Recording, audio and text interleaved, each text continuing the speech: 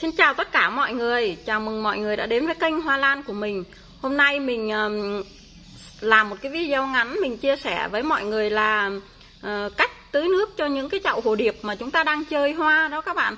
Thì mình cũng xin nói luôn nha, video này là dành cho những bạn mới chơi lan thôi. Còn các bác biết rồi thì xin hãy bỏ qua video này nhé Tại vì có một số bạn nó hỏi mình là bạn ơi mình đang chơi lan hồ điệp đang có ngồng hoa đang chơi hoa thì phải làm sao? Chăm sóc làm sao? Tưới nước làm sao? Thì chăm sóc thì mỗi lần mình tưới phân á mình đều có chia sẻ cách chăm sóc rồi mọi người ha. Thì hôm nay mình sẽ chia sẻ cách tưới nước. Thì đây là những chậu lan mà mình đã xách xuống ở trên giàn mình đã xách xuống để mình chơi hoa.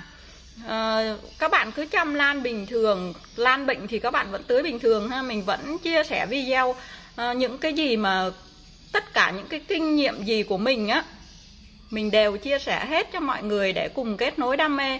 Nếu mọi người thấy video của mình hay hữu ích thì hãy cho mình xin một like và đăng ký kênh để đồng hành cùng mình nha các bạn. Rồi à, để có một cái chậu lan hồ điệp đó mọi người. Cái lá mới này lên rất là đẹp ha. Cây này bị bệnh mình đã chữa khỏi rồi. Nó đã đen nó đã khô lại là đã khỏi ha. Lá mới lên không có bị bệnh. Và ngòng hoa thì mình sắc vô để mình chơi hoa đó mọi người. Hôm nay mình đem ra để mình tưới nước mọi người đây, sáng ra thì mình, cái này mình xách xuống mà nó bị gãy mất cái nụ tiếc ghê ấy. sáng ra, đẹp không mọi người? Chậu này thì chậu mới thay đó hoa vẫn rất là rất là đẹp luôn, vẫn nở nhưng mà mình sẽ chỉ chơi hoa hai ngày nữa là mình chắc mình cắt bỏ hai, ba ngày nữa. Ha mình ráng chơi mấy hôm tại mình thích hoa này quá. Để mình dưỡng cây á mọi người, thì cây mình chia sẻ là cây mình mua cây loại hai, cây yếu đó. Mình mua để lấy mặt hoa mà. Cái hoa này đơn giản nhưng rất là đẹp nha mọi người. Nhà mình có rất nhiều hồ điệp hoa màu này. Đó. Rồi để bây giờ mình chơi cái hoa làm sao để mình tưới nước vào mà cây của mình nó không bị suy kiệt. Thì mình à, buổi sáng mọi người sáng ví dụ nắng từ 7 giờ đến 10 giờ á, chúng ta nên đem ra ha. Chúng ta đem ra đem ra chỗ hè nhà chúng ta có nắng đừng có nắng gắt quá nha các bạn. Trước 10 giờ là phải sắc vô nha mọi người, chứ trên dàn nó có mái che mà đem ra, mình đem ra mình mình tưới nước xong mình quên sắc vô là nó sẽ bị nó sẽ bị cháy lá đó, các bạn, nó sẽ bị phỏng, bị bỏng đó mình tưới nước rồi là mình đó, mình tưới tưới đẫm luôn nha mọi người.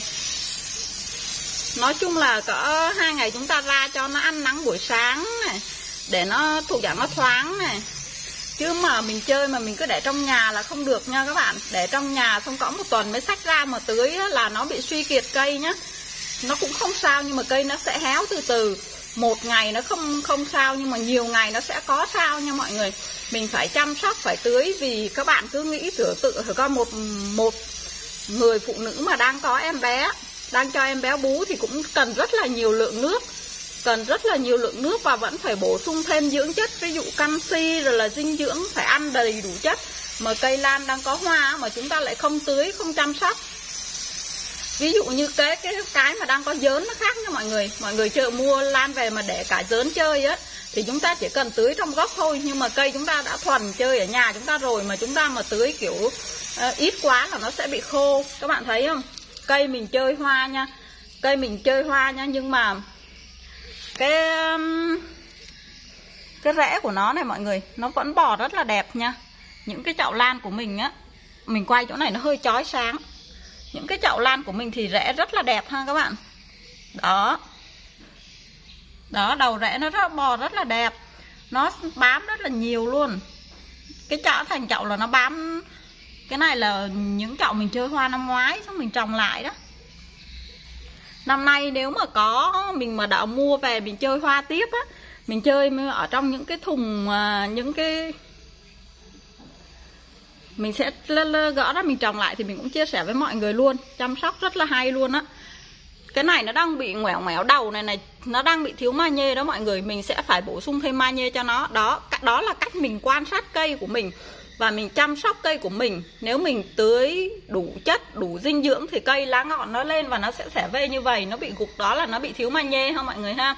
Đó, mình, chứ không phải là mình không chăm sóc không gì hết nha mọi người tưới nước thì phải tưới cho thiệt là là đẫm. Tưới xong rồi mình sẽ để vô rồi mình mình cho nó ăn nắng luôn mình tắm nắng cho nó luôn thủ giảm để nó lấy oxy để lấy không ờ, khí. Nói chung là lấy năng lượng nó nắng là cũng rất là nhiều năng lượng mà mọi người nắng buổi sáng mình à, mình đôi khi cũng phải tắm nắng để lấy canxi mà các bạn để ờ, bổ sung thêm canxi. Ví dụ như uống canxi thì phải có nắng đúng không? Nó mới phát triển được hết canxi nó mới nói chung là mình nói cho kiểu nhà nông dân đi ha cách dễ hiểu nhất. Đó dành cho những bạn đang tập chơi lan giống mình ngày xưa vậy thôi. Đó mình biết gì mình sẽ chia sẻ đó. Các bạn phải tưới tưới cho thiệt đẫm vậy nè. Đó giống y nó lấy lượng nước no để nó đủ đủ nước để nó nuôi hoa thì hoa nó mới bền được chứ. Nó không có nước nó nuôi hoa thì hoa nó sẽ khô và kiểu dụ thu giảm mà thiếu nước luôn đó mọi người. Cho nên là chúng ta phải chăm sóc uh, muốn chơi hoa cây không bị suy nhược thì chúng ta phải chăm sóc ha mọi người ha chăm sóc dinh dưỡng, chăm sóc từ nước, rồi là nói chung là đã chơi hoa là vất vả là cực rồi đó mọi người. Rồi, bây giờ chắc mình xin dừng video ở đây thôi ha. Chúc mọi người thành công nhé chúng ta tưới xong rồi chúng ta cho nó tắm nắng đi rồi mình mang vào nhà trước 10 giờ. Mình à, chưng, mình chơi để cho nó nhớ là mang vào trước 10 giờ nha mọi người. Chứ nếu mà để quên tới 10 rưỡi sợ nắng lên cao á, nó sẽ bị phòng lá đó mọi người. Cái hồ điệp này mà nắng nắng trọi vô cao là nó sẽ bị phòng lá đó. Nó sẽ gây ra hiện tượng thối nhũ lá do bị cháy nắng á mọi người. Rồi cảm ơn tất cả mọi người đã coi video của mình nha. Chúc mọi người luôn thành công với những đam mê.